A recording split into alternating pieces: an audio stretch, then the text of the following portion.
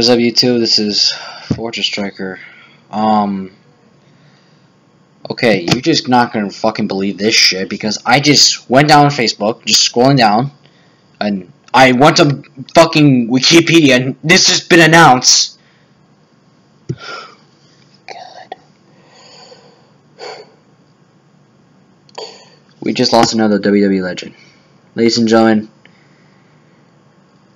we lost Dusty Rhodes a week month ago. This year, we just lost Roddy Piper. Rowdy Roddy Piper is dead. It said that he died of a natural cause today. Oh my god.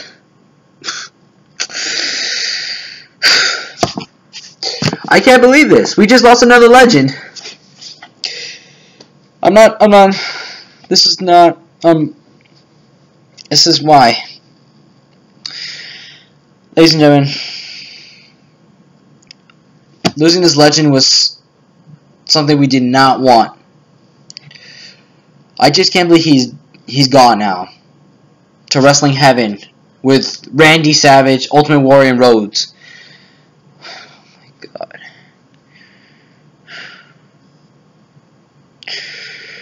This is the hardest moment in history. We just lost one of the greatest old school heels, promo talks, and fan favorite guys all the time. We just, I mean, it was just about, about like what a month ago he just said goodbye to Dusty. Now we just lost Piper.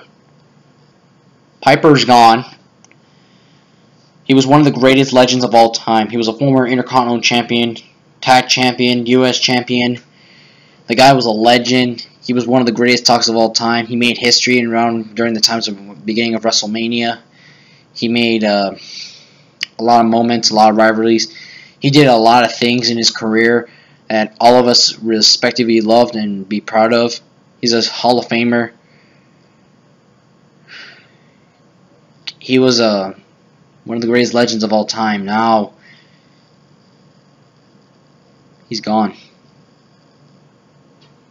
This shocked me just now, literally, because I just saw this now.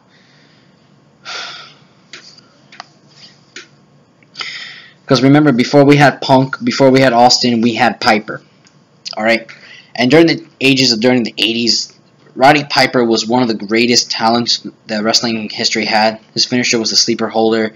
He had great matches. He was even had one of his famous WrestleMania matches with not only with uh, teaming with Paul Orndorff, taking on Mr. T and Hulk Hogan at WrestleMania 1, and then boxing Mr. T at WrestleMania 2 the year after. But mostly our famous one I can say was WrestleMania 8 for the Intercontinental Championship against Bret Hart.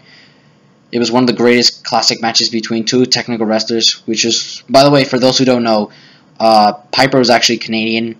He actually is a relative to the Hart family, and so he is now in um, wrestling heaven with his cousin Owen.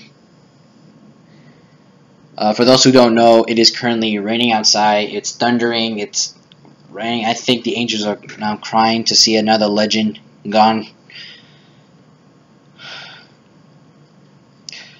I haven't seen like a rain like this, you know, since uh, for those who know Paul Walker when he died. I know he was not a wrestler, but it was ironic to see how it rained so hard and we lost a, a famous actor. This is how much it is now when you're a wrestling fan. Roddy Piper passing away is one of the saddest moments to happen, and I want to say I am so sorry to see such a legend gone by. He died at the, at the age of 61. He was will be of course missed. He is a legend a wrestler, and one of the greatest icons we have ever seen in the history of this business. You will really expect to see a soon to be a in memory of to him in the WWE since he was actually more famous in WWE. The guy made a lot of legacies. The guy made a lot of histories there. He even come up to even fought against Vince Russo in TNA to talk about all the deaths of um, the legends, especially Owen.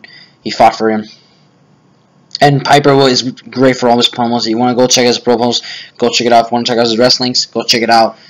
This guy is a legend. I respect him. I loved him. This guy was awesome. And sad to never been a world champion. I am so sorry about that. But you know what? This guy is a champion.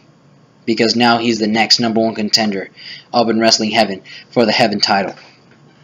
And I hope to see a lot of people get more respect. So now we lost Rhodes. We now lost Piper. But I say thank you to him. Thank you to the both of them for being there for us. Piper was actually fighting back for Hogan's sake for the whole racism we had that we dealt with uh, about a week ago.